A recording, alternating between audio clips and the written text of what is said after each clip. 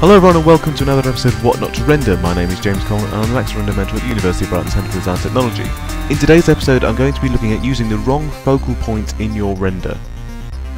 This is the scene that I'll be using today, this is one of my first year projects. What I've done in this scene is gone for something quite quirky, cameras at an angle, there's a product in the background and in the foreground, and when all of my camera setup is done the only thing remaining to do is to select my focal point. And to do that I've right clicked in the viewport and select autofocus, the shortcut is the F key. However, because the center of my camera reticule is not looking at my product, it's actually looking at the background. It's focused to that background. And the f-stop on my camera is only 11, so the depth of field in this scene is not very much. As you can see in the info here, it's 1.522. That means that we can see in the interactive preview that the product in the foreground is blurry. What I should have done to focus my scene correctly is right click in the viewport and select focus to, and then click in the viewport at the point that I want to focus to.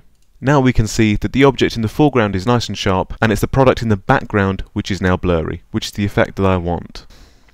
Another similar but slightly different problem that I often see is new users to the software setting up a camera without setting the focus at all. And that's what I've tried to simulate here. I've duplicated my camera and made my target 0, 1.50 which is the default and then navigated my way through the viewport to this view. And the target has adjusted automatically but it's still not right. Even though in the viewport the focus may look about right, if I go to my perspective view in the viewport you can see that the camera is actually focused to about here, which is definitely not to the front of the product as the original camera is. Setting the wrong focal point in your renders, or not setting a focal point at all, that is what not to render.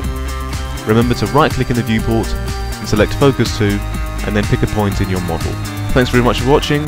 Any questions or suggestions, leave them in the comments below, or email me at maxrenderbrightoncdt at gmail.com, or tweet me at jcoleman underscore design. Thanks very much, I'll see you again soon.